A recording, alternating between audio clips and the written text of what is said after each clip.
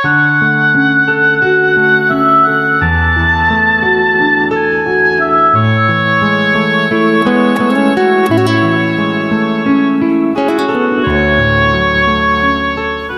fifth dream Queen Trisla had was of a beautiful garland descending from the sky. It smelled mixed fragrances of different flowers. The flowers bloomed during the different seasons. The whole universe was filled with their fragrance. Normally, in different season, we have only one or several different kind of flowers. In every season, they have different kind of flowers. But this garland that the queen saw from that from the sky, yeah, descending from the sky, as a beautiful garland, was mix of all kind of flowers from different seasons. It's very auspicious. Anyway, obviously, know. Yeah. So this dream indicated that the fragrance of her son's teaching will spread throughout the universe, and he would be respected by all. The sixth dream Queen Trisla had was of a full moon. It was a very auspicious sight. The moon was at its full glory. It was as bright as a star. It awoke the lilies to full bloom. This dream indicated that the child would help lessen the suffering of all living beings. He would bring the peace to the world. He would help the spiritual progress of humanity at large. The seventh dream Queen Trisla had was of the bright sun. Wow, even sun, moon, everything. The sun was shining to destroy the darkness. It was as bright as the flames of the forest fire. The sun rose and ended the, the evil activities of the creatures who thrive at night. The eighth dream Queen Trisla had was of a large flag flying on a golden stick. The flag fluttered softly and auspiciously in the gentle breeze. It attracted the eyes of all people. Yeah. A radiant lion was pictured on it as well. Always a lion. Because the lion is the king of the animals kingdom. So I guess that's why the flags of some country they put the lion on it. Or put the lion sculpture in front of their palace or in front of their residence to show their power. Maybe I need some. so you know I also have some power. no, I'm joking, huh? No need, huh? This dream indicated that her son would carry the banner of the religion. He would reinstate the religious order throughout the universe. The ninth dream Queen Trisla had was of a golden vase filled with clear water. It was a magnificent, beautiful, and bright vase. You know vase? You put a flower in it? It was decorated with a garland, flower garland, yes. This dream indicated that her son would be perfect in all virtues and would be full of compassion for all living beings. He would be a supreme religious personality. The tenth dream Queen Trisla had was of a lake full of lotuses. Thousands of lotuses were floating on the lake, and they all bloomed and opened at the touch of the sun's rays. The lotuses had a very sweet fragrance. This dream indicated that her son would be beyond worldly attachments, like the lotus, grow in the mud but do not reek of the mud. He would have liberated human beings who were entangled in the cycles of birth, death, and misery. The eleventh dream Queen Trisla had was of an ocean. Its water rose in all the directions to great height. The wind blew gently and created the waves. This dream indicated that her son would have a serene and pleasant personality. He would achieve the infinite perception and knowledge and would escape from worldly life, which is the ocean of birth, death, and misery. This would lead his soul to the moksha. Moksha, liberation. So, moksha is a Sanskrit term for liberation, great enlightenment, like any Hindu, any Indian yogi would aspire to attain moksha, okay? Liberation. The twelfth dream Queen Trisla had was of a celestial plane. The plane resounded with celestial music. It was saturated with the pleasant and spiritual aroma of the incense.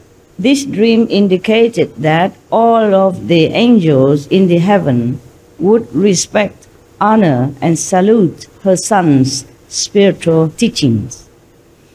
The thirteenth dream Queen Trisla had was of a big heap of jewels. It was a mixture of all types of gems and precious stones, gems, diamonds, and precious stones. Mixed, a big heap of all of these precious stones. This dream indicated that her son would have infinite virtues and wisdom, and he would attain the supreme enlightenment. The 14th dream Queen Trisla had was of a smokeless fire. The fire burned with great intensity, but there was no smoke. This dream indicated that her son would reform and restore the religious order. He would remove blind faith and orthodox rituals.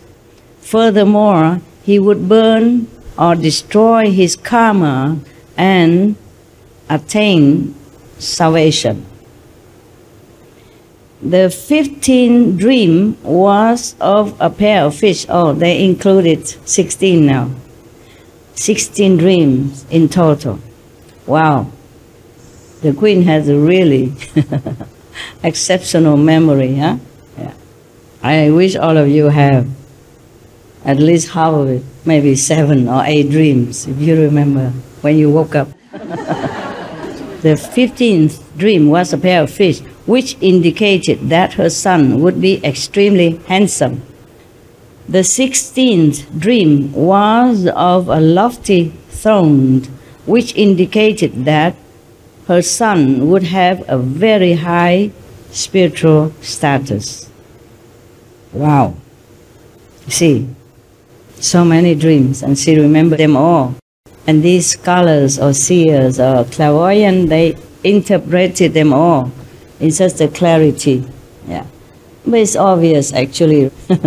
Even we don't have to be seer or clairvoyant. We can read uh, most of it as auspicious sign yeah, for the birth of a prince, of course, yes.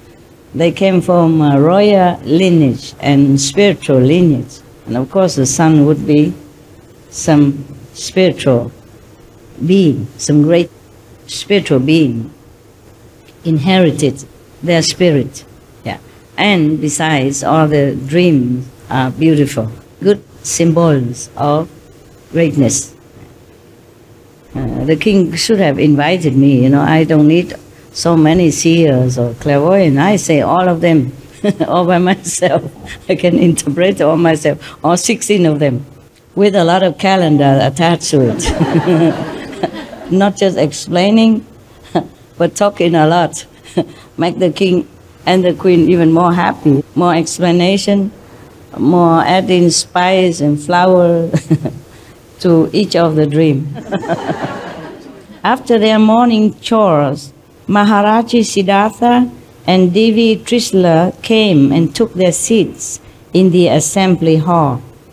His younger brother, Supashva, his wife, and other members of the royal family also took their seats nearby. Famous dream readers of Vaishali arrived into the assembly hall. Maharaji Siddhartha and Devi Trisla greeted the dream readers and scholars of eight pronged system of augury and offered them high seat. The king said to them, Scholars of augury, last night in the early hours of the morning, Priyakarini, Vidadina Devi Trisla, this is all her title before, her name is Trisla. Here is a 14, but we have 16. So 16 auspicious dreams. Kindly interpret these dreams on the basis of your knowledge and experience of the science of augury and satisfy the curiosity of all of us. The augurs listen to the details of the dreams from Devi Trisla and beamed with joy. Pondering over, they interpreted the dreams as follows. O King of Kings, Maharaji Siddhartha, according to the science of dreams, there are 72 auspicious dreams. Out of these, 42 indicate of ordinary benefits and remaining 30 of great benefits. The dreams the fortunate Devi Trisla has seen are the 16 great dreams that indicate extremely auspicious and divine gains in the near future. According to these dreams, Devi Trisla will give birth to a son who will become a Chakravarti. But, boom, boom, boom, boom, Maharaji, there are some catch beside that. Okay, tomorrow I continue, okay? you take a rest now. There's some more exciting things to come. Make sure you stay. you would stay, right? It's a retreat. Okay, I see you maybe, or maybe tonight if I I done all my job. if I took care out of my office works and meditate for a while, eat something, maybe I come see you, huh? Yeah, be happy. Maybe. Maybe. Be good, yeah? Imagine if Queen Trisla has so many children. Uh, how many dreams? Thousands of dreams you must have. Yes. Because all of you are prince and princess in my heart. Mm. And in, uh, in the spiritual heavens, you are prince and princess. Make sure you're worthy of that title. See you later, huh? 再见。大陆hả? No? Việt Nam hả?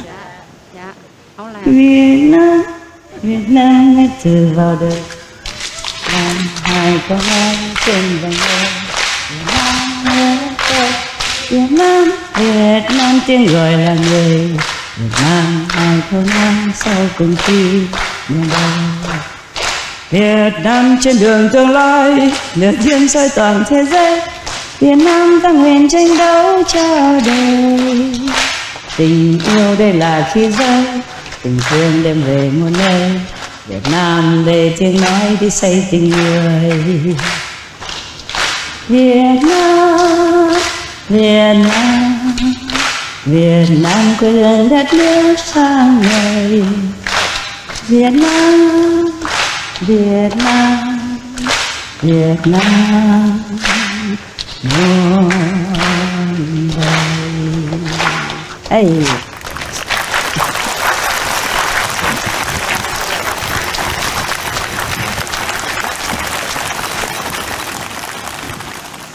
大家好，嗯，我认识很多人，三十年、二十年以前的，怎么都都不老呢？啊，大概打出好嘿，OK，Thank you 啦。